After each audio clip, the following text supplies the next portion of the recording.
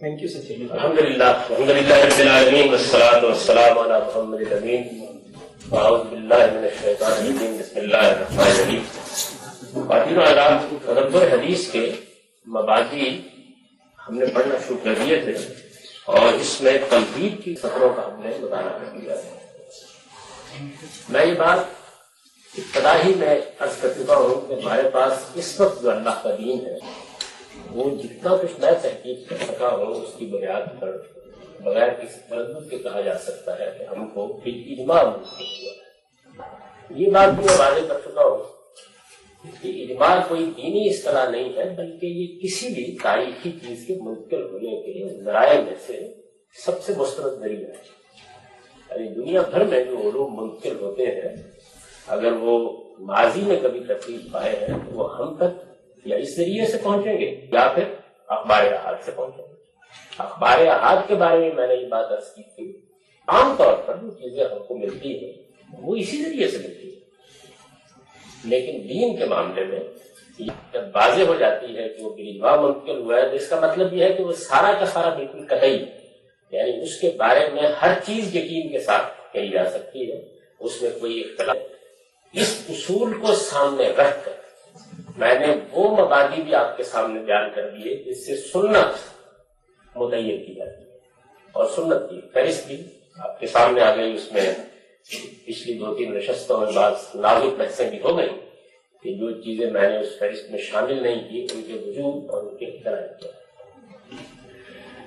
حدیث کے معاملے میں کیا مسائل پیدا ہوتے ہیں؟ یہ تو ابھی زیر بحث آئے گی۔ حدیث کیا ہے؟ اصطلاح میں حدیث کہا کس چیز کو جاتا ہے؟ حدیث کے بارے میں ہمارے پاس کیا مواد موجود ہے یہ کس طرح مرتب ہوئی ہے؟ اس کے مختلف ادوار کیا ہیں؟ اس میں فنی چیزیں کس طرح سے عہد بحد ارتقا پذیر رہی ہے میں نے اس کا ایک مختصر اور اجمالی نقشہ آپ پچھلے لیکچر میں پیش کر دیا۔ یعنی یہ بتایا تھا یہ پورا کا پورا فن بنیادی اصطلاحات کے ساتھ کیسے ہم تک پہنچا ہے؟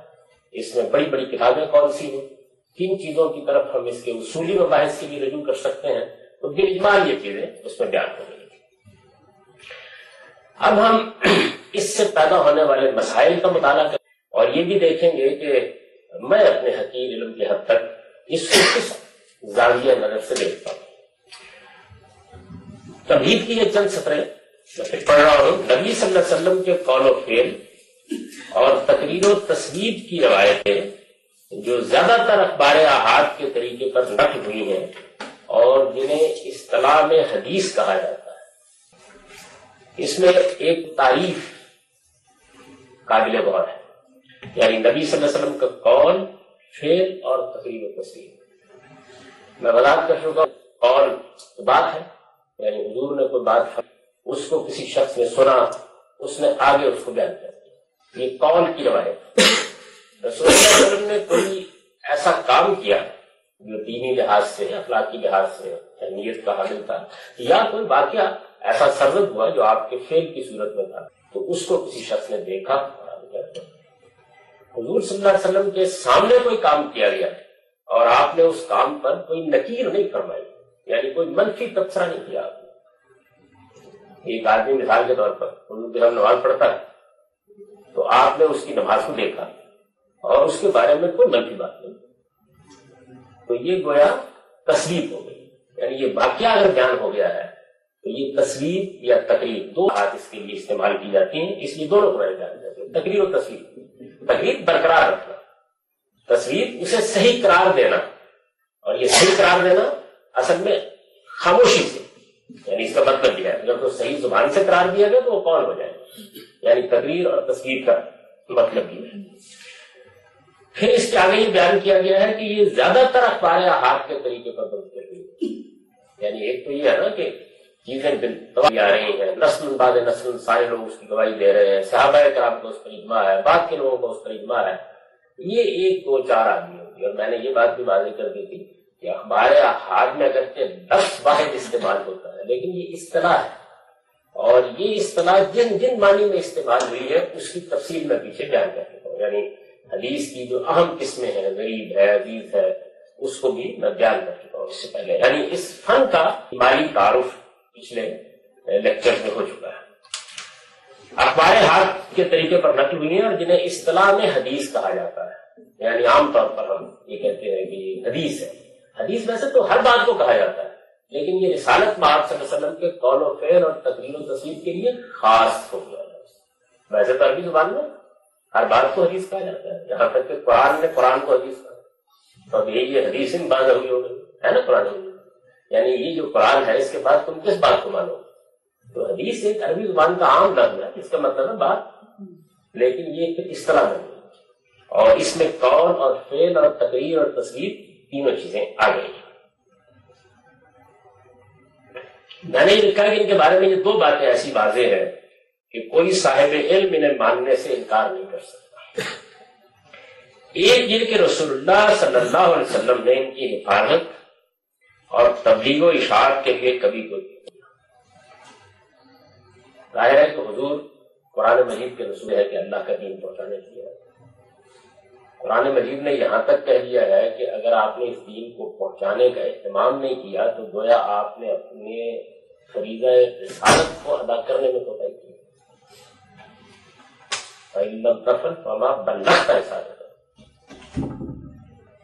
یہ چیز نبی صلی اللہ علیہ وسلم کی یہ ذمہ داری بنا دیتی ہے کہ دین کی حیثیت سے جو چیز بھی آپ کو جو حکم بھی لوگوں تک پہنچائے، اس کی حفاظت کا بھی اہتمام کریں۔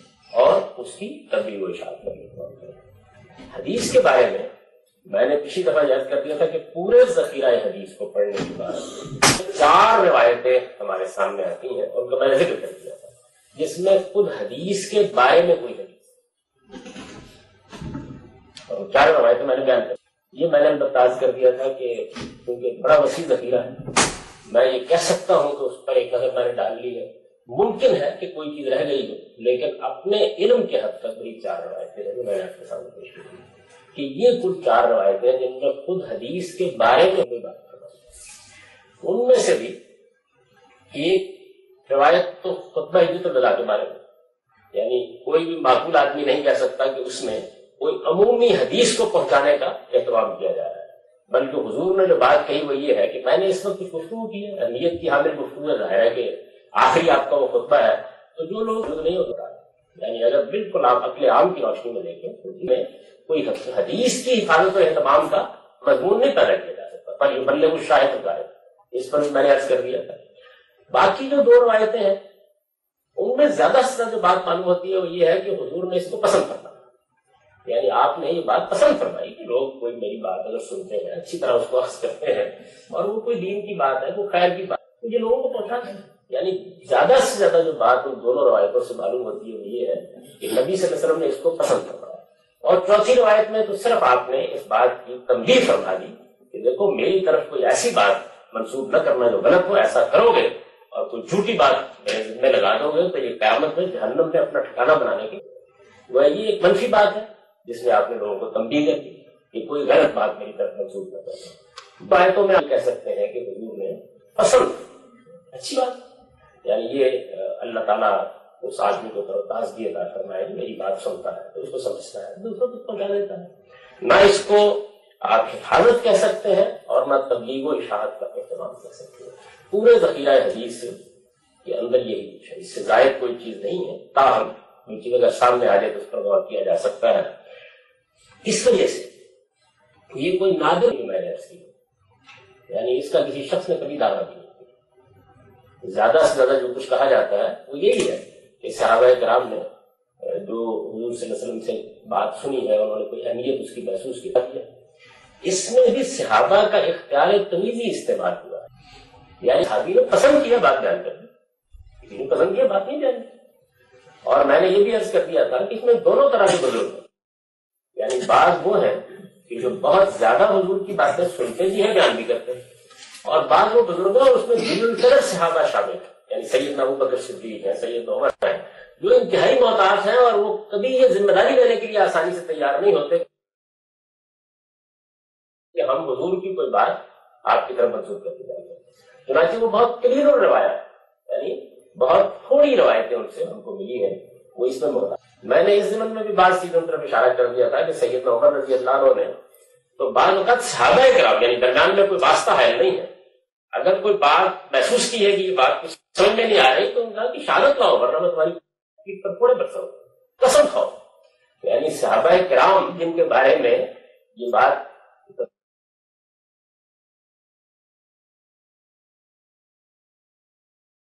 جا سکتی کہ وہ حضور صلی اللہ علیہ وسلم پر کوئی جھوٹی بات لگا دیں گے، ان کے معاملے میں بھی وہ اس حد تک محتاط ہے۔ ان روایتوں کی طرف میں نے اشارہ کر دیا تھا جن میں خود رسالت ماب سے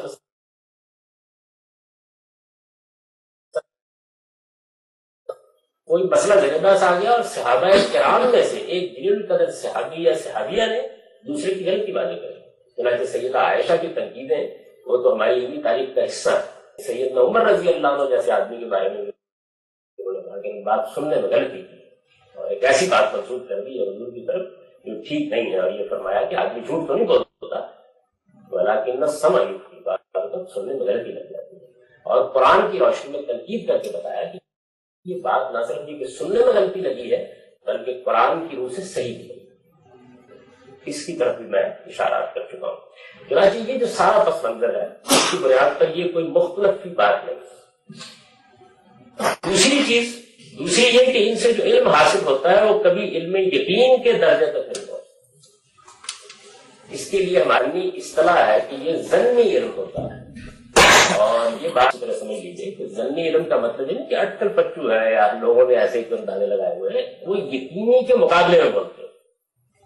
یعنی ضنی بھی گویا ایک اصطلاحی لفظ بن گیا ہے اور کم و بیش اسی مفہوم میں جس مفہوم میں مثال کے طور پر قرآن مجید میں آیا ہے۔ اہل ایمان کے اوساف جان کرتے ہوئے قرآن نے کہا ہے کہ یہ ظلم ملاقو رب یعنی انہیں اس بات کا گمانے غالب رہتا ہے کہ ان کی ایک دن ان کے پروردگار سے ملاقات ہوئی۔ تو ظاہر ہے کہ یہ جو زن ہے، یہ کوئی اٹکل پچو چیز نہیں ہے مطلب یہ ہے کہ عقلی لحاظ سے اس بات کو بہت کئی احتیاط سمجھتے ہیں۔ ان کا ایک عمومی اعتبار ہے۔ یہی ہم سب مسلمانوں کا معاملہ ہے۔ ایسا تو نہیں ہے نا کہ ہم نے قیامت کو دیکھ لیا یا اس کے بارے میں اس قطعیت کے ساتھ کھڑے ہو گئے ہیں ایک گویا کہ یہ علم یقین کی چیز ہو گئی ہے۔ اس کو قرآن نے بھی یہ ضنون رب بیان کیا۔ عقلی معاملات میں وہ چیزیں نظر نہیں آتی۔ جن کا ہم کو براہ راست مشاہدہ نہیں ہوتا، ان کے بارے میں یہ ایک علمی اصطلاح ہے۔ اس کا مطلب ہرگز کوئی اٹکل پچو بات نہیں ہے۔ بعض لوگوں نے جو اس فن کی تاریخ سے واقف نہیں، یہ خیال کر لیا کہ جب علماء یا محققین یہ کہتے ہیں کہ حدیث سے ضنی علم حاصل ہوتا ہے، تو قرآن نے تو کہا ہے اس بات کو کہ ان لا چاہیے زن کیا چیز اور یعنی زن کا نام دونوں معنوں میں استعمال ہوتا ہے۔ یہاں اس سے مراد ہے کہ یقین کے درجے کو نہیں پہنچتی یعنی قطعیت کے ساتھ نہیں کہا جا سکتا، البتہ گھمانے غالب کی۔ یعنی کئی نے کیا سے بظاہر یہ بات ٹھیک لگتی ہے حضور نے فرمائی ہوتی اس کا مطلب یہ ہوتا ہے۔ تو ان سے جو علم حاصل ہوتا ہے وہ کبھی علم یقین کے درجے تک نہیں پہنچتا۔ کیونکہ یہ لفظ بہت کوئی موضوع بیٹھ رہا میں نے اس کو ختم کر یعنی ایک دوسرا اسلوب اختیار کر لیا کہ جو کبھی علم یقین کے درجے تک نہیں پہنچتا۔ یہ طریقہ۔ اب میں آپ سے یاد کرتا ہوں کہ یہ بات علم یقین کے درجے تک نہیں پہنچتا اس کو ہمارے علماء نہ صرف یہ کہ سمجھتے ہیں اور مانتے ہیں، بلکہ اس کی بنیاد پر پورے دین کو پھر دیکھنے میں جو مسائل پیدا ہوتے ہیں، ان سے یہ اندازہ ہو سکے گا کہ وہ کیا خدمت ہے جو میں نے انجام دینے کی کوشش کی ہے۔ اس کی کچھ تفصیلات میں آپ کے سامنے رکھتا ہوں، اس سے پہلے کہ ہم اس میں آگے بڑھیں۔ سب سے پہلے آپ یہ دیکھیے کہ جب دین عکس کیا جاتا ہے ایک طریقہ تو وہ ہے نا کہ جس کو میں نے یہاں واضح کر دیا کہ ہمارے پاس قرآن مجید بل اجماع موجود ہے، ہمارے پاس سنت بل اجماع موجود ہے۔ اس کے بارے میں کوئی بحث پیدا نہیں ہوتی ایک طریقہ یہ یہ طریقہ کیونکہ اختیار نہیں کیا گیا اور اس میں قرآن مجید کا معاملہ تو واضح ہو گیا کہ وہ قطعی ہے۔ یعنی وہ قطعی ثبوت بھی ہے، قطعی دلالت بھی ہے۔ یہ معلوم ہو گیا۔ لیکن جو کچھ ہم کو سنت کی حیثیت سے ملتا ہے، تو چونکہ میں عرض کر چکا ابن عبد البر کا وہی سدائی جو اقتباس تھا، یاد ہوگا کہ اجماع سے بھی سنت ممکن ہوتی ہے اور اخبار ہاتھ سے۔ تو اجماع کا حصہ تو واضح ہے، لیکن اخبار ہاتھ سے منتقل ہوتی ہے پھر کیا ہوتا ہے؟ یہ دیکھیے ہاں اس کو کیسے دیتے ہیں؟ حنفی کو کہا اس ساری بات کو کہتا آپ کی پتہ ہے اور یہ نور الزا کی شرح ہے۔ اس میں یہ بحث بہت تفصیل کے ساتھ اور بڑے محکم انداز میں ہوئی یہ کہتے ہیں کہ علم ان الدلہ اسم یا انواع اربع یعنی ہمارے پاس جو دین ہے وہ ایک سمائی چیز ہے۔ وہ قرآن پڑھا گیا، ہم نے سنو سنو اسی طریقے سے نبی دین بتایا سنا گیا ہم تک پہنچ گیا۔ یہ ساری جو دلیلیں ہیں، یہ عقلی نہیں ہیں۔ مراد کیا؟ یعنی یہ پھر، یہ مطلب نہیں ہے کہ دین میں عقل کا کوئی دخل نہیں ہے مطلب یہ کہ یوں نہیں ہے کہ ہم دین کو اپنی عقل سے بنا لیتے ہیں، بلکہ جو ہم کو ملا ہے اس کو ہم بیان کرتے ہیں، اس کو دلائل سمیہ کہتے ہیں۔ کا سارا وہ ایک سمائی چیز ہے۔ ہم نے اس کو سنا ہے اللہ کے پیغمبروں سے۔ ان کو اللہ نے وہی کی اور انہوں نے ہم کو بتا دیا۔ تو یہ چار قسموں کی ہے، ساری کی ساری۔ یعنی جو دین جب بیان کیا جاتا ہے، میں تو یہ کہوں گا کہ جب دین بیان کیا جاتا ہے تو دلیل ایک ہی ہے۔ اور وہ یہ ہے کہ ہمارے پاس دلیل بہت ہوتا ہے چار قسمیں ہیں اس کی پہلی قسم کیا ہے؟ کہتے ہیں ثبوت پر کرانا پہلی قسم یہ ہے کہ ثبوت بھی بالکل قطعی ہے۔ اور دلالت بھی اس بات کی بالکل قطعی ہے۔ یہ بات کیوں کہتے ہیں؟ یہ بات اس لیے کہتے ہیں کہ مثال کے طور پر قرآن کا ثبوت قطعی مثال کے طور پر نماز بلجوا منتقل ہوئی ہے، اس کا ثبوت قطعی ہے لیکن قرآن کی ایک آیت کو ہم نے سمجھنا ہے۔ اگر تو سمجھنے کا معاملہ یہ ہے کہ اختلاف کی گنجائش نہیں، تو پھر یہ قطعی دلالت بھی ہوگی۔ اور اگر اس کے معاملے میں دو رائے ہو سکتی ہیں، تین رائے ہو سکتی ہیں، لوگ مختلف بھی ہو گئے ہو سکتی یا نہیں ہو سکتی لیکن بار ہو گئے تو پھر وہ قطعی دلالت نہیں ہوگی۔ تو پہلی قسم یہ ہے کہ قطعی ثبوت ہو اور قطعی دلالت بھی ہو۔ کل رسول بات اس کی مثال انہوں نے کیا دی ہے کہ جیسے بجما منتقل ہونے والی چیزیں تباہ ہونے والی چیزیں، جیسے قرآن ہے، یا جس طرح کی بحث کر چکا ہوں کہ سنت ہے۔ اور اگر انہی لوگوں کی تعبیر مستقل سنت کا وہ حصہ جس کو یہ بھی اسی دائرے میں رکھتے ہیں۔ تو یہ پہلی صورت ہے۔ دوسری کیا ہے؟ وہ قطعی ثبوت ضنی دلالا یعنی ثبوت تو قطعی ہے قرآن میں ہے آیت موجود ہے ثبوت تو قطعی ہو گیا معلوم ہو گیا کہ آیت یعنی حضور نے قرآن میں یہ آیت ہم کو دی ہے اور ہم تک یہ پہنچ گئی تو ثبوت قطعی ہو گیا لیکن آیت کے معاملے میں دو، چار، پانچ آرا ہو سکتا کیا ہو جائے؟ گا ضنی دلالا اس کی مثال ہوتی ہے. کل آیات المعاملہ. یعنی وہ آیتیں جن کی تعبیر کی جا سکتی اور ظاہر سے تعبیر کی جا سکتی ایک تو وہ آیات ہے جو محتاج تعبیر نہیں۔ آپ نے پڑھا بات بیان کرتی لیکن جن کے بارے میں تعویل کا ہو سکتا ہے ایک صاحب علم کہتا ہے میرے خیال میں مدعا ہی ہے، دوسرا کہتا ہے میرے خیال میں مدعا ہی ہے۔ تو یہ بھی صورتیں ہوگی تیسری صورت کیا ہے؟ ورژن ثبوت۔ یعنی ثبوت اب قطعی لینا میں نے کیا نا جو چیزیں اخبار ہاتھ سے ہم کو منتقل ہوتی ہیں، ان میں سے کوئی ایک بھی ایسی نہیں ہے جس کے بارے میں یہ کہا جا سکے کہ یہ ان میں یقین کے درجے رکھ سکے۔ یہ کیا چیز ہو گئی؟ یہ اب ضنی ثبوت ہو گئی۔ یعنی اس کا ثبوت ضنی ہے۔ ضنی ثبوت قطعی دلالا لیکن یعنی مسئلہ ایک حدیث ہے۔ ضنی ثبوت تو ہو گئی۔ یہ تو نہیں یقین کے ساتھ کہا جا سکتا کہ یہ واقع رسالت آپ صلی اللہ علیہ وسلم نے فرمایا ہے ایسے ہی فرمایا تو ثبوت میں تو ایک درجے کا گمان موجود ہے۔ لیکن جو کچھ بھی ہمارے پاس پہنچا ہے، اس میں کوئی بحث نہیں۔ ہوتی یعنی اس کی دلالت بتائیے مطلب یہ ہے کہ اس کے مدعا کے بارے میں اختلاف نہیں ہو سکتا۔ مثال کے طور پر ایک حدیث میں جاتا ہے بات پڑھو، تو اس میں تو بحث نہیں ہے۔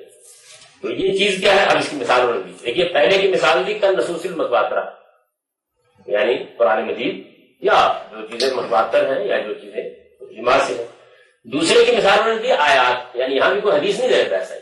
اس لیے کہ وہ قطعی اس ثبوت کی دونوں صورت ہے کل آیات المعاملہ۔ تیسرے کی مثال میں کہتا ہے کہ اخبار الحاد التی مفہوم حق یعنی یہ تیسری قسم میں تو معلوم ہو گیا نا کہ اخبار احاد کی کوئی چیز بھی کبھی علم یقین کے درجے تک نہیں مانی جاتی۔ یہ کیٹیگری جیسے ہی شروع ہوتی ہے، تو اب یہ ضرنی ہاں البتہ دلالت قطعی ہو سکتی ہے۔ اور دلالت قطعی کا مطلب میں واضح کر چکا ہوں یعنی اس بات میں کوئی بحث کا سوال نہیں۔ یعنی یہ بحث تو ہو سکتی ہے کہ یہ حضور سے ثابت ہے یا نہیں، لیکن جو کچھ بھی آ گیا ہمارے پاس، اس کو سمجھنے میں کوئی مسئلہ نہیں پڑا اس کو کہیں گے قطعی چلانا چنانچہ انہوں نے اس کو وضاحت کر دی کہ اخبار لحاظ یعنی اس کی اس کی مثال ہے اخبار لحاظ النتی مفہوم ہوا قطعی۔ ان کا مفہوم بالکل قطعی۔ اب چوتھی قسم کیا ہے؟ ثبوت پر دلالا یعنی ثبوت بھی ضنی ہے، وہ تو ہے ہی۔ اخبار احاد کا۔ جو بات اس رہی ہے، اس میں بھی دو، چار، پانچ، دس آرا ہو سکتی ہیں۔ یہ کیا ہے؟ کہتے ہیں کہ اخبار احاد اللہ کی مفہوم ضنی اس کی مثال وہ اخبار احاد ہے، جن کا مفہوم بھی قطعی نہیں رہا، بلکہ وہ ضنی ہو گیا ہے۔ تو آپ یہ دیکھیں کہ اس میں ہوا کیا ہے۔ یعنی اخبار احاد کی دو قسموں سے وہ ثبوت کے لیے ہر حال میں ضنی ہے۔ دلالت سے ان کی دو قسمیں ہو سکتی ہیں۔ ایک یہ کہ جن میں کوئی اختلاف کا سوال نہیں ہے، سمجھنے میں، اور ایک وہ جن میں ہو سکتا ہے۔ یہ چاروں قسمیں ہوگی اب میں نے کیا تھا، کسی وقت کہ ہمارے فقار اس کی بنیاد پر پھر خاص طور پر فقایا کرتے ہیں۔ یعنی یہ بڑی دلچسپی ایک تو یہ ہے نا کہ آپ یہ کہتے ہیں کہ بھئی یہ اللہ کے پیغمبر نے حکم دیا ہے۔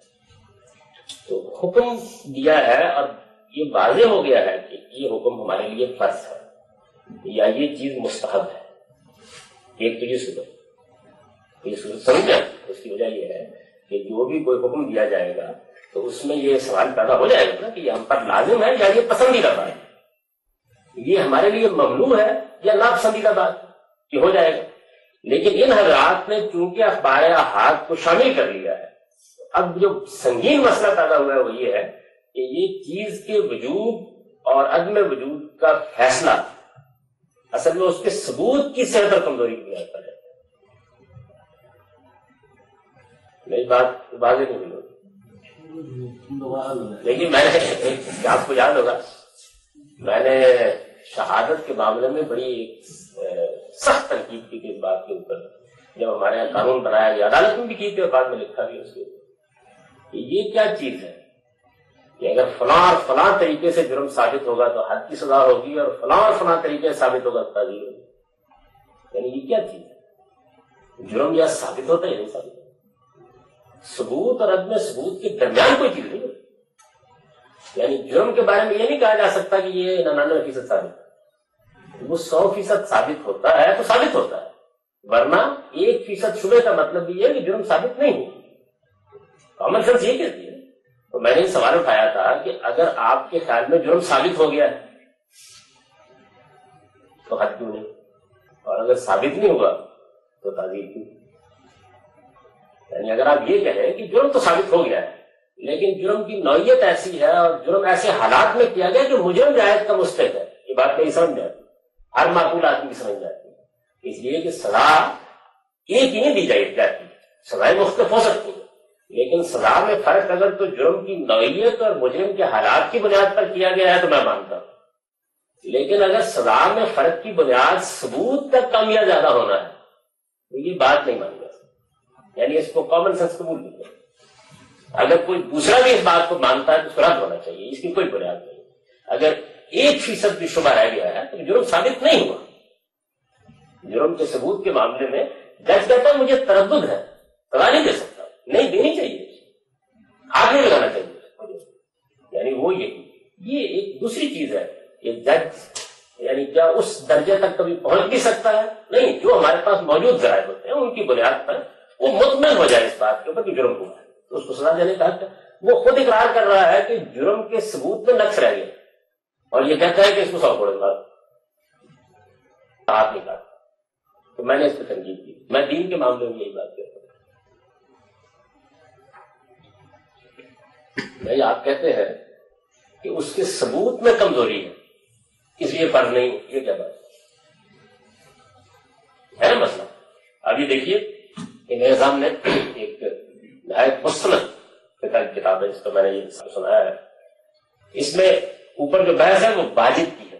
حنفیوں کی ایک اصطلاح ہے نا، فرض کے درمیان میں ایک واجب کی ہوتا ہے۔ واجب کی انہوں نے تشریح کی ہے کہتے ہیں کہ شریعت میں واجب کیا ہے۔ اسم لما لزمنا بے دلیل فی شبہ۔ یعنی واجب وہ ہے کہ جو ہم پر لازم ہو گیا ہے، ایک ایسی دلیل سے جس میں شبہ ہے۔ یعنی آپ یہ کام نہ کریں، میں آپ سمجھ رہا ہوں یہ بات۔ اب یہ دیکھیے، اسی اصول کے اوپر کیٹیگرائز کر رہے ہیں ساری بات کو۔ آپ نے چار چیزیں دیکھی کیا تھی قطعی ثبوت اور دلال۔ دوسری کیا تھی؟ قطعی ثبوت زنی دلال تیسری کیا تھی؟ قطعی ثبوت زنی ثبوت اور قطعی دلال کیا تھی؟ زنی ثبوت زنی دلال چار تھی نا اس میں یعنی ثبوت اصل میں کمزور ہو گیا۔ نبی صلی اللہ علیہ وسلم کی طرف نسبت کا معاملہ کمزور ہو گیا۔ یہ ہوا ہے نا، اس کی بنیاد پر فرق کر رہے ہیں۔ کہتے ہیں فبل اول پہلی صورت۔ پہلی صورت کون سی ہے؟ یعنی کبوت بھی ہے متواتر محسوس دین میں رکھیے۔ فبل اول یسبت الفرض بل حرام۔ یعنی پہلی صورت میں کیا ہو جائے گا؟ پہلی صورت میں بھی ضروری نہیں کہ ہو جائے اس کی وجہ یہ کہ ممکن ہے کہ بات قرآن میں ہو۔ لیکن فرض نہ کی گئی۔ بہرحال کوئی غلط بحث ہے۔ میں تو اس وقت آپ کو جو ان لوگوں کا موقع پہ وہ سمجھا رہا ہوں۔ فبر اکبر یسبت الفرض حرام۔ یعنی اس میں فرض ثابت ہو جائے گا، حرام ثابت ہو جائے گا۔ پازیٹو نیگیٹو ہوں گے نا۔ یعنی ادھر فرض ہو جائے گا، اگر کسی چیز کو لازم کیا اور کسی سے منع کیا تو حرام ہو جائے گا۔ اچھا۔ وہ و سالس بسانی و سالس ثانی اور سالس کون سی ہے؟ یعنی قطعی ثبوت اور ضنی دلالت ہے۔ ضنی ثبوت اور قطعی دلالت اس سے کیا ہوتا ہے؟ یسبت الوجود۔ شبہ پیدا ہو گیا یعنی اوپر بات کر کے نیچے اس کی وضاحت کر دی۔ کہ اس کے ذریعے سے کیا ہے؟ واجب ثابت ہوتا ہے۔ اور دوسری جانب یعنی اس کے نتیز میں کیا ثابت ہوتا ہے؟ کراہت التحریم۔ آپ نے سنا ہوگا نا کبھی کبھی مولوی مکرو ہے تحریمی مقبول تحریمی بڑی دلچسپ اس طرح ہے۔ مطلب یہ ہے کہ حرام ہے۔ نہیں نہیں، تھوڑا سا کم ہے۔ بالکل ٹھیک تھا یعنی وہی چیز ہے اسم البا نظم نا بے دلیل تھی یہ شبہ یعنی تحقیق کرنے والے نے محسوس کیا کہ بہت باہر آ گئی نہیں کس طرح تو وہ کیا کرے گا فرض نہیں کر رہا واجب کر رہا اچھا ہمارا رابع چوتھی صورت کیا ہے یعنی زنی ثبوت اور دلالت بھی زنی ہے اس میں دو رائے ہو سکتی ہیں۔ مطلب کیا ہے اس بات کا؟ اور ہے تو خبر واحد جو زنی ہوتی ہے۔ کیا ہوتا ہے؟ یسب تو سننا بن استعمال کہتے ہیں نا یہ چیز سنت یا دوسری اصطلاح ہے نا۔ یہ دماغ میں یہ سنت ہے۔ تو یہ سنت اور استحباب چیز کا پسندیدہ ہونا جسے مستحب کہتے ہیں آپ لوگ۔ وہ اس سے ثابت ہوتا ہے۔ اور اس کے نتیز میں کیا ہوتا ہے؟ راحت تنظیم یعنی تنظیحی کراہت۔ تنظیحی کراہت ویسی ٹھیک ہے یہ بات۔ نہیں نہیں تھوڑی سی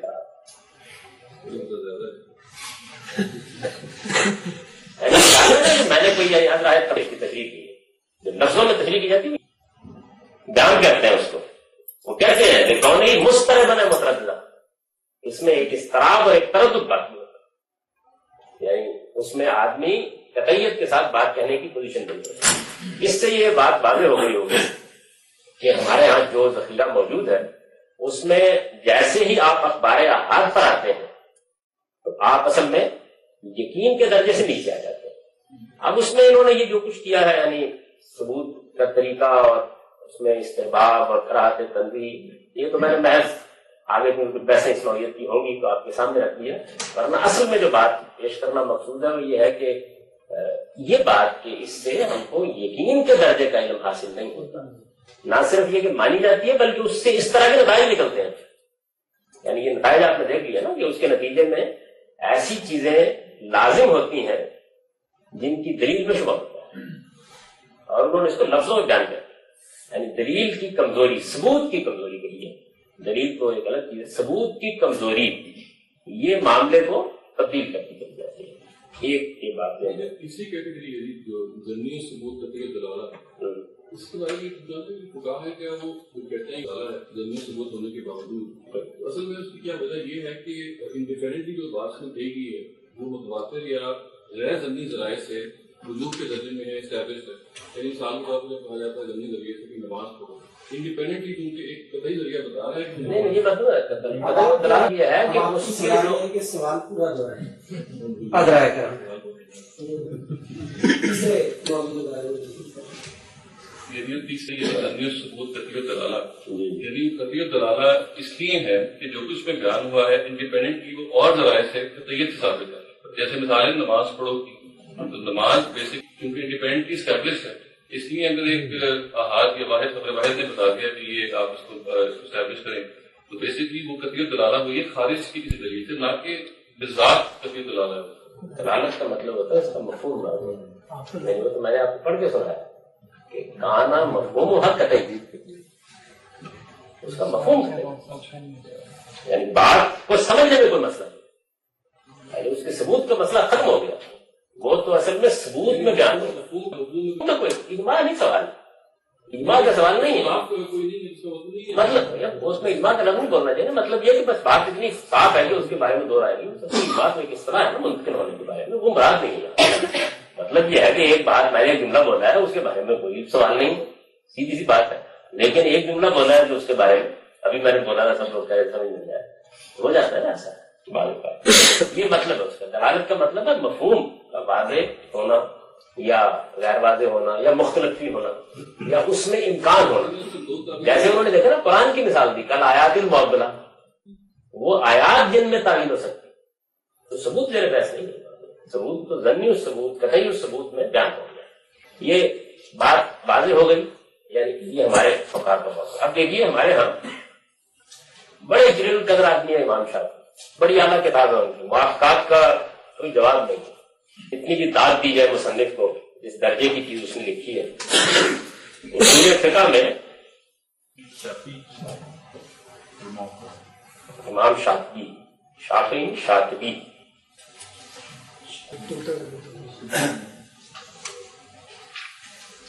تو شاطبی نے موافقات میں اس مسئلے کو اسی مسئلے کو حل کرنے کی کوشش کی۔ یہ جو مسئلہ پیدا ہوتا ہے، وہ کہا کا تو آپ نے دیکھ لیا۔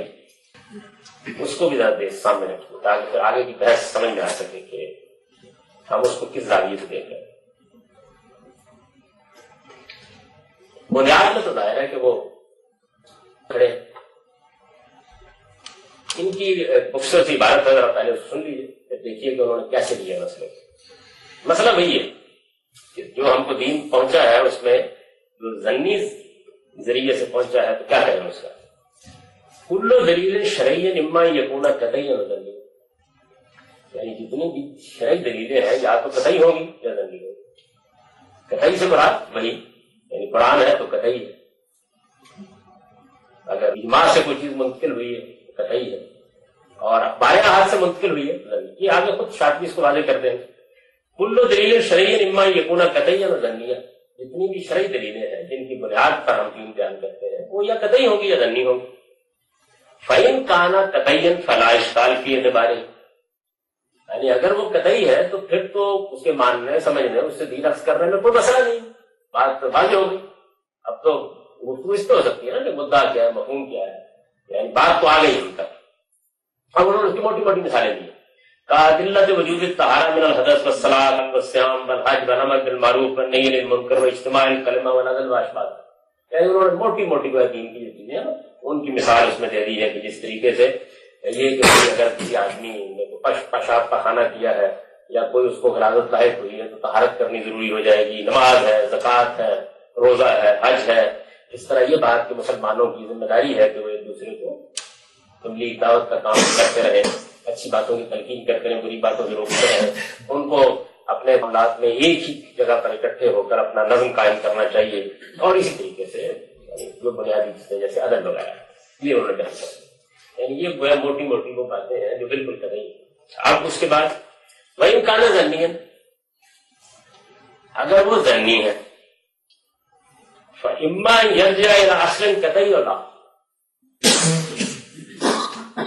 یہ موافقات کے زمانے کی کتاب ہے۔ اس زمانے میں ہمارے جو علماء، فقہا اور بڑے دلکل تھے، ان کے اسلوب پر منطق اور علم کلام کی اصطلاحات کا بہت غلبہ تھا۔ یعنی یہ عام زبان میں نہیں لکھی ہوتی ایک خاص زبان ہے جس میں یہ لکھی ہوتی ہے۔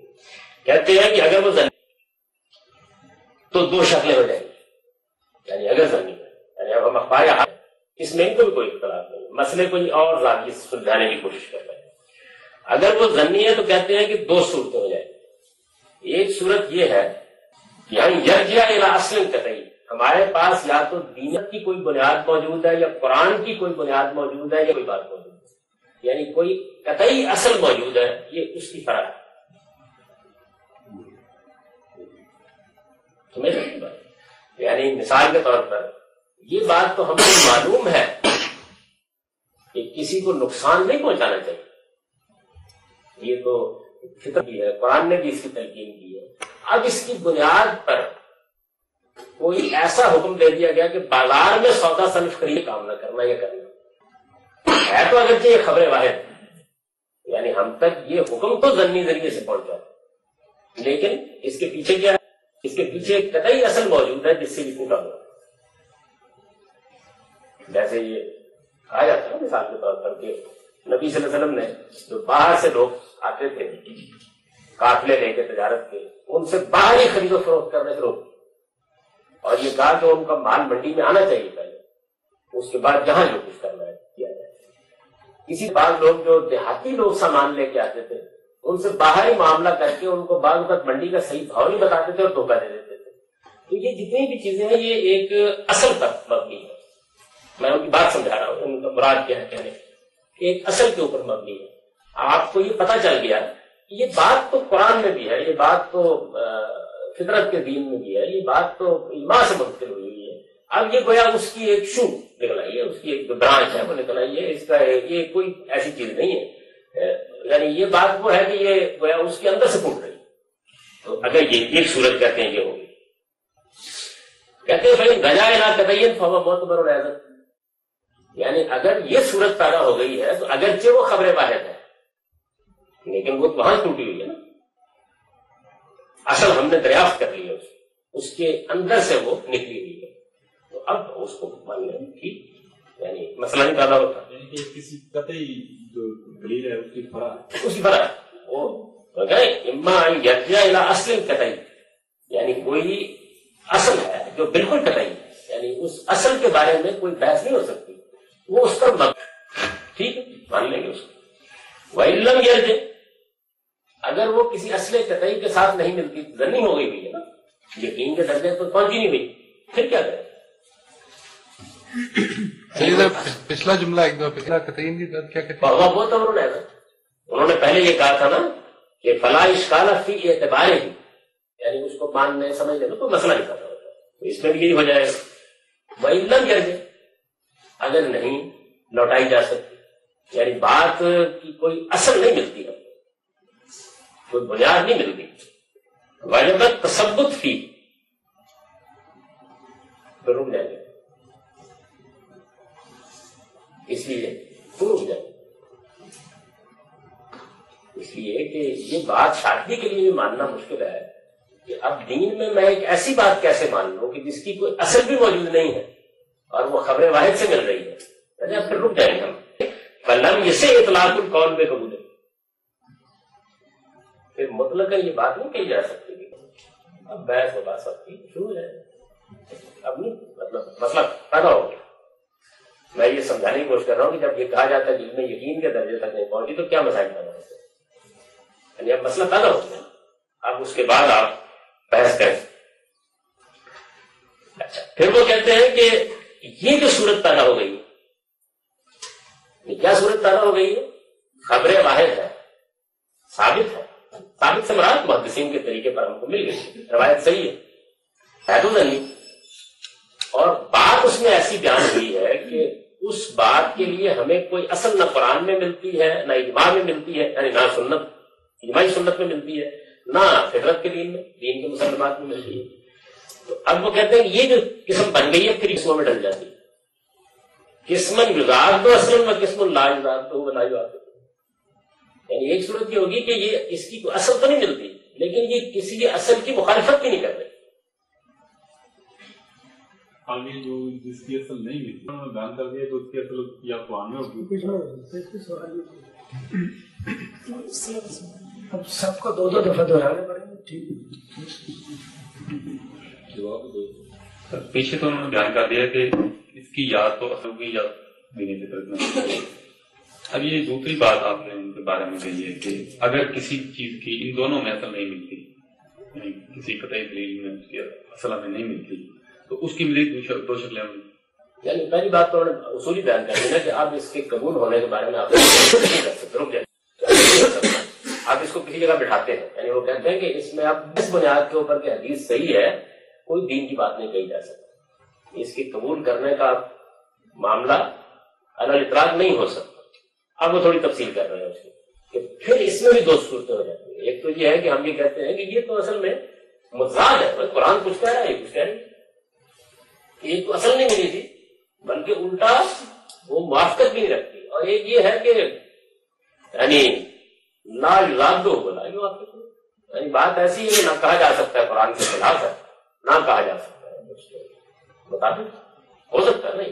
آگے ویسے انہوں نے کہا کہ ایسی کوئی چیز مجھے ملی نہیں۔ لیکن علمی لحاظ سے تو اقسام کر ہی دی جائیں گی۔ تو یہ ہو جاتا ہے اچھا۔ اب اس میں ظاہر ہے کہ جو پہلی صورت ہے یعنی ایک بالکل قطعی ذریعے سے ہم کو کوئی چیز مل گئی ہے، اس کو بیان کر چکا۔ تو فلاں تعلقیت بارے ہی اس میں تو کوئی ضرورت نہیں ہے۔ دوسری قسم یعنی جس میں کوئی اصل مل جاتی ہے۔ ہے تو ضنی چیز اصل مل جاتی ہے۔ اس کے بارے میں بھی زیادہ مسئلہ نہیں پیدا ہوتا۔ اس لیے کہ ہمارے پاس ایک بنیاد موجود ہے اس پہ ہم کہہ دیتے ہیں کہ یہ اس کی فرا ہے۔ اس وجہ سے اس کو بھی قبول کرنے میں کوئی مسئلہ نہیں کوئی پرابلم نہیں پیدا ہوتا۔ یہ دو صورتیں تو ٹھیک ہے یعنی پوری ہو گئی۔ پوری ہو جانے کے بعد بھی کوئی حدیث علم میں یقین کے درجے تک نہیں پہنچ میں بتا چکا ہوں پچھلے اپنے لیکچر میں کیوں نہیں پہنچ یعنی یہ میں نے بتایا تھا کہ وہ کیا مسئلے ہیں جو اس کے باوجود رہ جاتے ہیں۔ میں نے بھول گیا ہم لوگ لیکچر یاد ہے؟ یاد ہے۔ میں نے عرض کیا تھا کہ سند میں وہ کیا خراب باقی رہ جاتے ہیں حقیق کے باوجود۔ اور اگر اس میں بھول گیا ہو دوبارہ سن لیجیے اور اگر سننے کا موقع نہ ہو تو ہمارے استاد مولانا مینا سے اسلائی کی جو کتاب ہے ماجد جبر حدیث اس میں ایک پورا باب ہے۔ صنعت کے خلاف انہوں نے بیان کیا کہ وہ کیا چیزیں ہیں۔ یعنی وہ تو سب مانتے ہیں کہ وہ خلا ہے، کچھ نہیں کہا جا سکتا۔ تو تیسری صورت تیسری صورت یہ تھی نا کہ جو اصل قطعی کے معارض ہو گئی خلاف ہو گئی تو کہتے ہیں کہ ہم سالس فوت ضنی المعارض اصل قطعی، ہم مردودم بلا اشکال یعنی اس کو تو ہر حال میں رکھ کرتے ہیں یعنی اس میں تو دو ٹرائی نہیں ہوئی اصل قطعی کے ساتھ وہ معارض کھڑی ہو گئی ہے خلاف ہو گئی۔ دین فطرت کے کسی مسلمان کسی اجماعی سنت کے خلاف ہے تو وہ تو ہر حال میں جی؟ جب وہ یہ کہتے ہیں کہ یہ نہ قرآن کے خلاف ہوگی یا نہ دین کے خلاف ہوگی۔ یہ تو وہ ہے جو معارض ہو گئی ہے ہو گئی ہے خلاف۔ وہ تو رد کر دی جائے گی۔ رد کر اسی کا بھی مشکل کر دین کے خلاف ہے ملی نہیں ملی نہیں، اس کو کبھی آیا نہیں نا آپ نے مبادلت کیوں کر ابھی تو میں نے یہ بیان کیا ہے کہ بھائی یہ چار صورتیں بن گئی ہیں۔ پہلی صورت جو ہے وہ بالکل قطعی ہے اس میں تو بحث نہیں ہوگی دوسری میں ہمیں اصل مل گئی ہے مسئلہ حل ہو گیا۔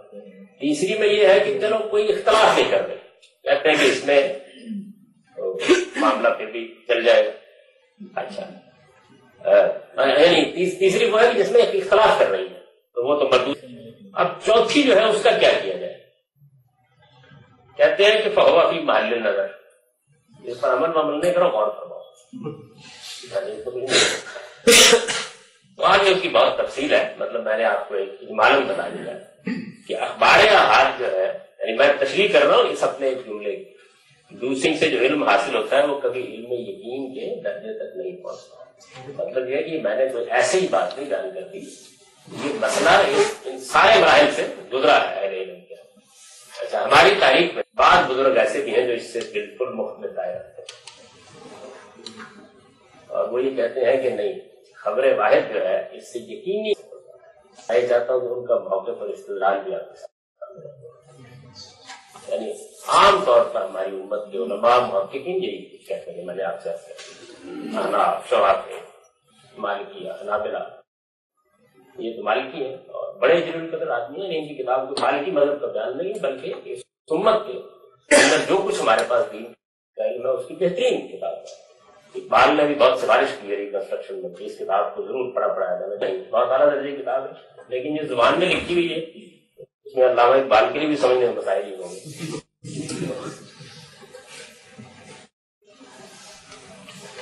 اس طائفے کے سفید ہمارے امام ابن حضم ہے اندروسی ظاہریہ مذہب کا نمائندہ کہنا چاہیے۔ ان کو اشار ہے اس بات کے اوپر۔ کہ جب روایت صحیح ہے، تو پھر وہ یقینی یعنی کوئی خیال دلیل کیا دلیل میں کہتے ہیں کہ کالا تالا اتنا نہ ذکر و اتنا قرآن مجید میں اللہ تعالیٰ نے فرمایا ہے کہ ہم نے ذکر نازل کیا ہے اور ہم ہی اس کی حفاظت کرنے والے ہیں۔ وہ کالا تعالیٰ حکم دے دیں اور قرآن میں اللہ تعالیٰ نے رسول اللہ علیہ وسلم کو یہ حکم دیا ہے کہ تم ان لوگوں سے کہو کہ میں تمہیں صرف وہی سے انتظار کرتا ہوں۔ فاخبرہ تعالیٰ کما قدم کلام نبی صلی اللہ علیہ وسلم کل ہو گئی اور یہ ہم قرآن سے اس سے پہلے ثابت کر چکے ہیں کہ حضور کا تمام کلام نہیں آیت وہی ہے، ما جنتے کون ان ہوگا اللہ وہی حضور وہ اپنی خواہش نفس سے نہیں بولتے، یہ تو خدا کی وہی ہے ون دہی بلا خلاف ذکر۔ اور بارے میں یہ بحث نہیں ہو سکتی وہ ذکر ہے۔ میں ذکر محفوظ میں نسل قرآن اور قرآن کہتا ہے کہ ذکر محفوظ شریف میں آگے کا انا کلام صلی اللہ علیہ وسلم کل محفوظ بحفظ اللہ علیہ وسلم تو یہ بات ثابت ہو گئی پھر کہ حضور صلی اللہ علیہ وسلم کا سارا کلام خود خدا کی حفاظت سے محفوظ ہے۔ مضمون ہوش ہے ہمیں ضمانت دی گئی ہے قرآن میں اس بات کی جس میں سے کوئی چیز ضائع نہیں ہونے دی جائے۔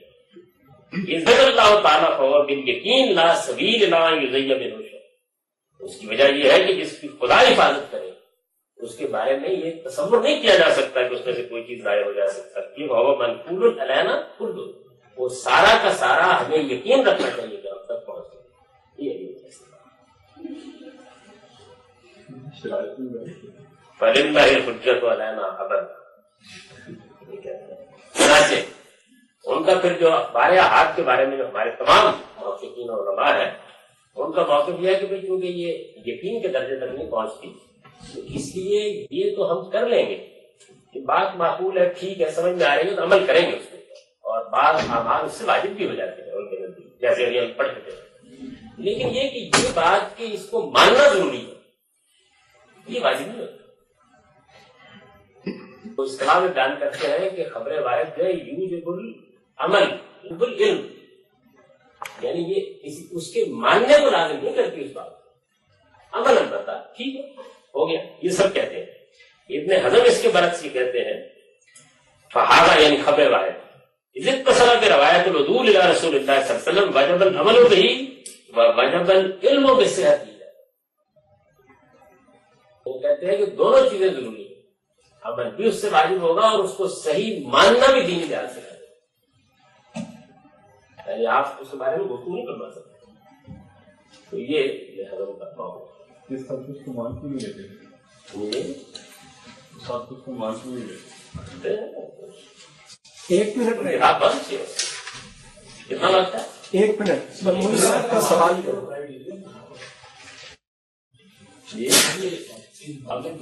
سر مائک آپ کے آپ شروع کریں تو باقی سارے سمجھ۔ لیں مجھے جو صحیح ہے۔ سر یہ جو اسٹیٹمنٹ ہے یوزبل عمل بلا یوزبل علم اس میں عام طور پر یہ سمجھا جاتا ہے کہ یہ اس سے مراد علم سے مراد ایمانیات کی مباحث ہیں۔ یہ نہیں ہے یہاں اس کا مطلب ہے کہ اس بات کو ماننا ٹھیک ہے۔ جیسے مثلا اگر کوئی آدمی قرآن کی کسی آیت کا انکار کرتے تو آپ تفریح کریں گے اس کی۔ لیکن جب ایک خبر کا ماننا ہی ضروری نہیں ہے تو اس پر عمل کرنا کیوں ضروری ہے؟ یہ بھی پھر ایک اس پر بھی وہ ہے آپ کو اس بنیاد پر ہم کٹہرے میں کھڑا کرتے ہیں کہ آپ اس کے بارے میں تردد کرتے ہیں لیکن یہ ہے۔ کہ اگر بات معقول ہے تو آپ عمل تو کیجیے یہ ہاں تو یہ میں نے آپ کے سامنے تصویر کر دی ہے کہ یہ میں نے جملہ لکھا ہے۔ اس کا مطلب کیا ہے؟ دوسری یہ کہ ان سے جو علم حاصل ہوتا ہے وہ کبھی علم یقین کے درجے تک نہیں پہنچتا۔ یعنی اب آپ یہ تو نہیں کہیں کہ پہنچ جاتا ہے؟ اور یا پھر اتنے حضرت کی بات مان لیجیے کہ کون جاتا ہے۔ یعنی اس پر کوئی آپ محسوس کرتے ہیں تبصرہ کرنے کی ضرورت؟ ظاہر ہے کہ وہاں ذکر سے مراد قرآن مجید ہے۔ حضرت تعالیٰ نے جس صحیح کے کرنے کے لیے کہا ہے وہ قرآن ہے۔ جس چیز کے بارے میں یہ کہا گیا ہے کہ حضور کبھی خواہش نفس سے بات نہیں کرتے بلکہ یہ قرآن ان کی طرف نہیں کیا جاتا ہے وہ قرآن کا ذکر ہے۔ اور جس چیز کی حفاظت کی اللہ تعالیٰ نے ذمہ داری کی ہے وہ بھی قرآن ہے۔ یعنی یہ جو منطق ہے کہ ہر وہی ذکر ہے اور ذکر کی حفاظت کی ذمہ داری لی گئی ہے۔ اگر آپ سمجھتے ہیں اس پر کسی بحث کی ضرورت تو میں کر دیتا ہوں۔ ہاں، میرا خیال ہے کہ کوئی ضرورت نہیں ہے۔ یہ بالکل معقول معلوم بات ہے۔ آپ جناب کس وقت واپس آٹھ پانچ پر